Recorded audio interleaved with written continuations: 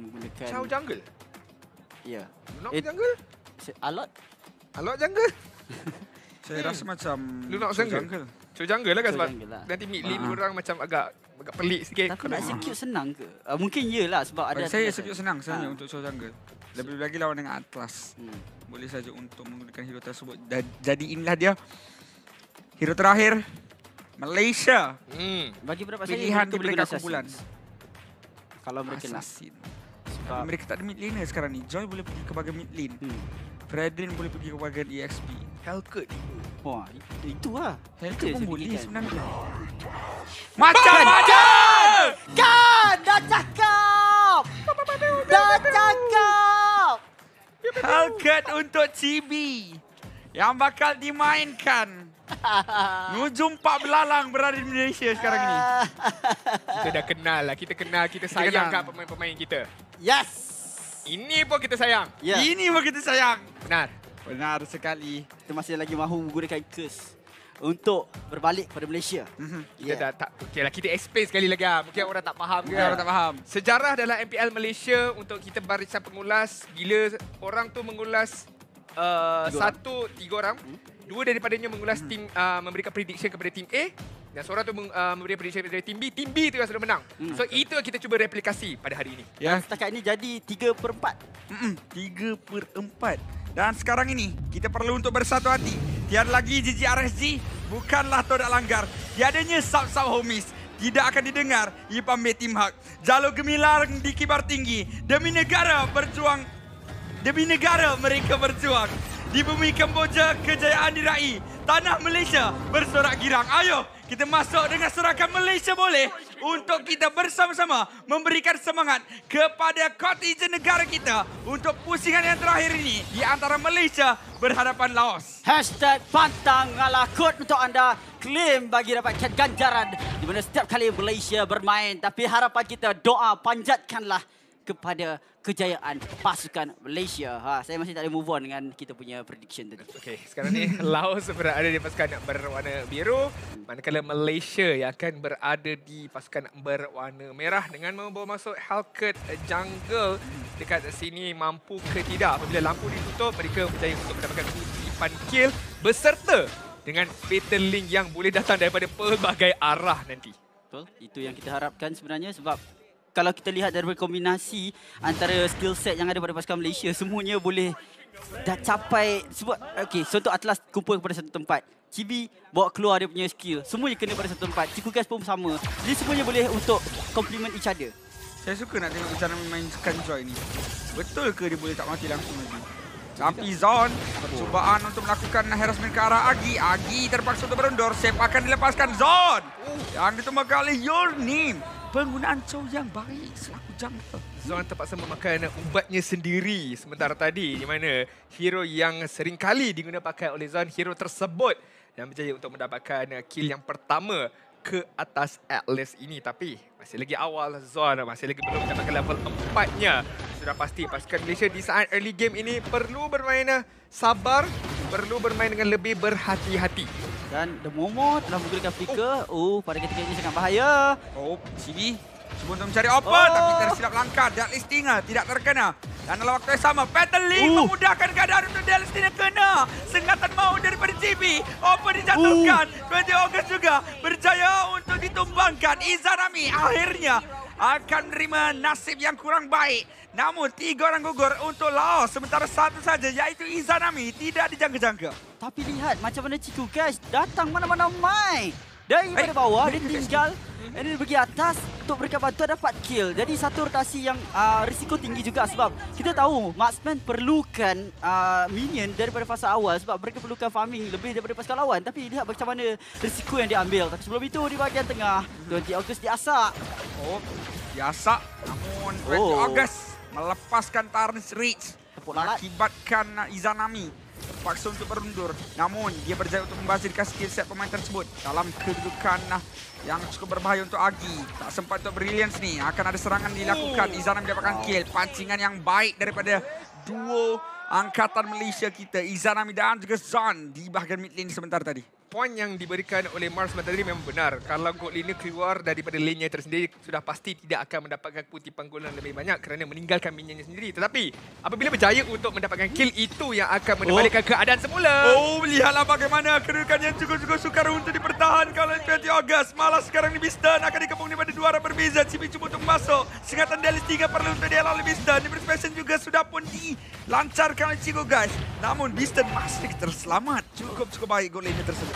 Ya, Malaysia boleh dapatkan satu kill tetapi gagal untuk dapatkan Biston tak mengapa keadaan sekarang Cikgu Gas dah lebih kaya berbanding dengan uh, pasukan Laos setakat ini masih lagi mencari momentum walaupun Chow mendapatkan uh, first blood akan tetapi lihat bagaimana untuk Malaysia sendiri mereka disiplin dalam melakukan uh, sesuatu yang berbeza 5 kill berpihak kepada mereka tapi tak boleh berasa terlalu selesa Chow boleh buat macam-macam sekarang 20 Ogos kehadapan cuba untuk tangkap zone tapi bahaya juga untuk pasukan Malaysia. Menambah semula kepada point 20 Ogos yang sejujurnya perlawanan ini dia main dengan cukup baik tau. Yeah. Tyrant's Revenge kena ke atas 2-3 ahli pasukan dan juga oh. Tyrant's Rage. Kombinasi yang begitu kemas. Cuma ada satu saja momen tadi dia tak dapat untuk mengenakan Tyrant's Rage ke atas Izanami. Tapi selain daripada itu, so far, dia so, punya prestasi begitu baik sekali.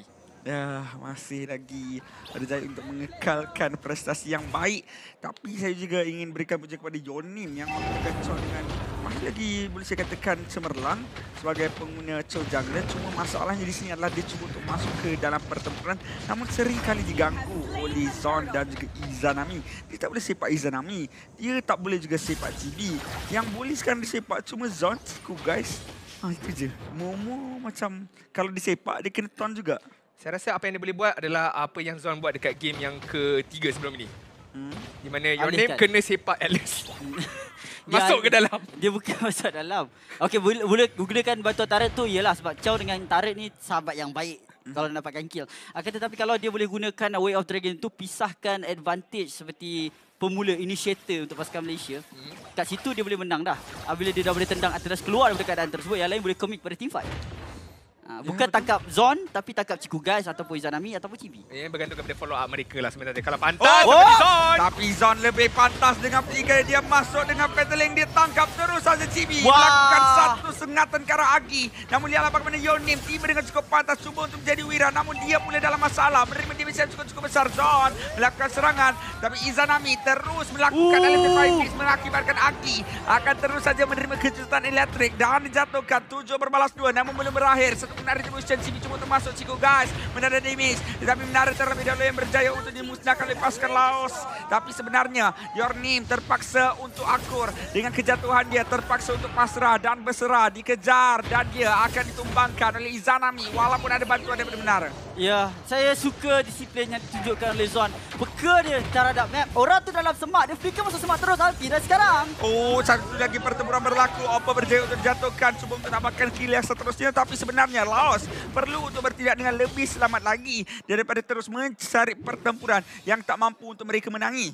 Ini adalah perubahan yang besar daripada Zon sebenarnya sebab dahulu kala Zon merupakan pemain yang ingin mendapatkan momen-momen tersebut mendapatkan fatality yang besar. Empat kata junior ahli pasukan PLR tapi kali ini seorang pun dia tak kisah. Dia akan tarik dia akan angkut kerana dia tahu follow up daripada rakan-rakan dia cukup untuk menumbangkan target tersebut dan saya harapkan prestasi ini diteruskan lagi bukan setakat oh. dalam perlawanan ini tapi oh. seterusnya tengoklah hilang. bagaimana Jornim terus saja hilang damage yang sebegitu besar sudah pun mampu untuk dilancarkan oleh pasukan Malaysia berjaya untuk memberikan satu lagi masalah buat pasukan Laos dengan adanya level yang tinggi dan juga gold difference yang sudah pun berjaya untuk dicipta 5.0 ribu berjaya untuk didapatkan oleh pasukan Malaysia meningkatkan lagi mereka punya kuasa milik untuk mendapatkan itemization dengan pantas. Oh, ini sebenarnya ada satu benda yang saya rasakan untuk pasukan-pasukan lain yang sedang melihat benda ni.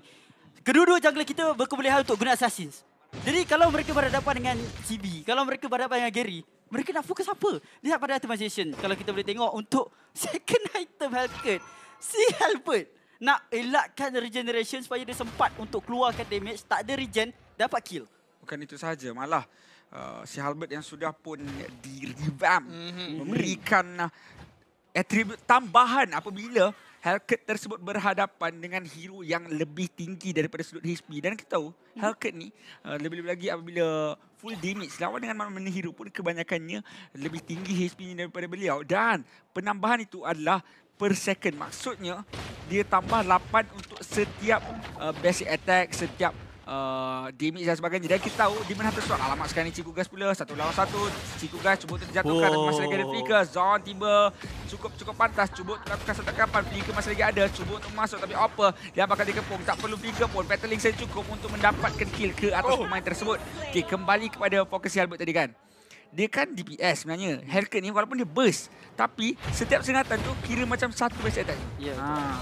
Dia nak dapatkan burst dia tu pun dia kena basic attack terlebih dahulu disebabkan itu juga lah akan memberikan manfaat daripada si Helmet tu. Dan tambahan pula berhadapan dengan Chow Jungle yang sudah semestinya akan melengkapkan item defense, item nyawa, berhadapan dengan Kufra pun lebih kurang sama juga. Jadi a very very good understanding daripada Chibi sebenarnya melengkapkan item yang cukup penting iaitu si Helmet yang akan memanfaatkan diri dia di dalam perlawanan ini apabila berlanjutan sehingga ke 15 minit maupun sehingga ke 20 minit. Ya, kalau nak dibandingkan burst ataupun DPS untuk nyawa yang tebal di badan game kalau kita lihat daripada drafting dan untuk lepaskan Laos mereka akan buat itemization menyebabkan nyawa yang tebal. Jadi pilihan DPS adalah lebih, lebih tepat.